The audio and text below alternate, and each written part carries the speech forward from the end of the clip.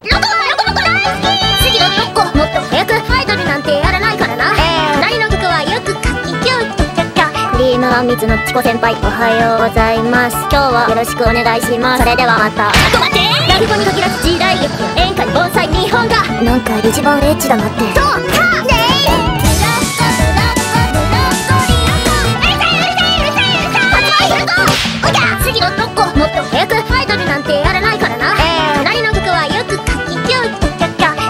三密のチコ先輩おはようございます。今日はよろしくお願いします。それではまた。ちょっと待って。